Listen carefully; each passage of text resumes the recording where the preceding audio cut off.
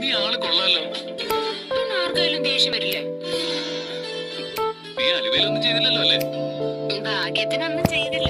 അല്ല നീയല്ലേ പറഞ്ഞത് അലുവ ഇഷ്ടമല്ല അത് പിന്നെ അതിൽ തൊടരുത് എടുത്ത് കഴിക്കരുത് എന്നൊക്കെ പറഞ്ഞപ്പോ ദേഷ്യം പറഞ്ഞതാ. അല്ലാതെ അലുവ ഇഷ്ടമില്ലാത്ത ആരെങ്കിലും ഉണ്ടാവോ? അവൾ കുട്ടിയായത് ഭാഗ്യം. ഇല്ലെങ്കിൽ ഞാൻ ഒപ്പം കൂടി ഓടിച്ചേനെ.